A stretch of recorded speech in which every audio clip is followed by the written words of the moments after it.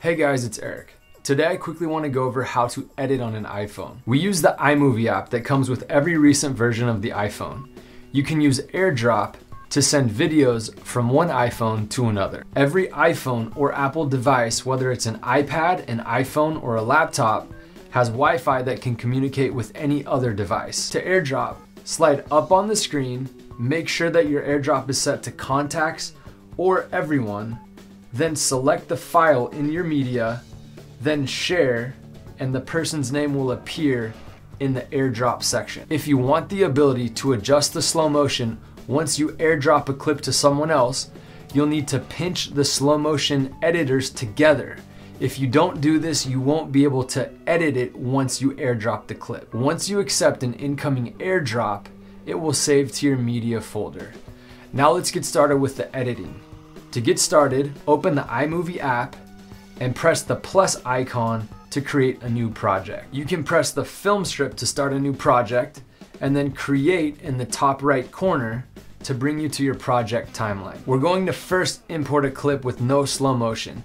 To get started, click on the film strip with the music note and from there you can add all media or recently added which I like to use if I'm editing clips from that day. Once you add a clip, simply touch it and you'll be able to edit, adjust the speed, adjust the volume, add text, or add a filter.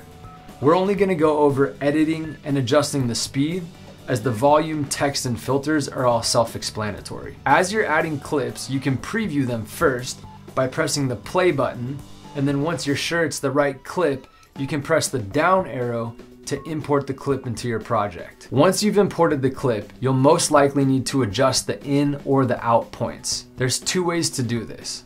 First, you simply click the video, making sure that the scissors are selected, and then simply grab the beginning or the end of the video, adjusting to the desired point. Second, select the clip, again making sure the scissors are selected, move the timeline to the place where you desire to cut it, and then press split and delete the part of the video that you no longer wish to use. Now let's import a video with slow motion.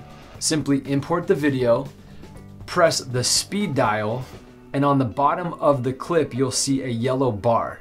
You can drag that bar wherever you wish the slow motion to start and stop, and then adjust the speed towards the tortoise for slow and the hare for fast. Once all your videos are edited to the correct in and out points, and you've adjusted them to the correct speeds, you can check the length of the video by scrolling to the end where it will tell you how long the video is.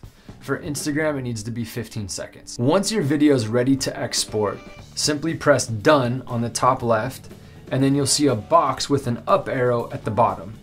Click that and you'll be given the option to save the video. You'll be given the option to select your resolution. I usually use the highest quality resolution for the best result once I post. Once you've exported and saved the video, go to your photos or your media folder, click play it to make sure that it's saved correctly, and you're good to go. Thanks and have fun editing.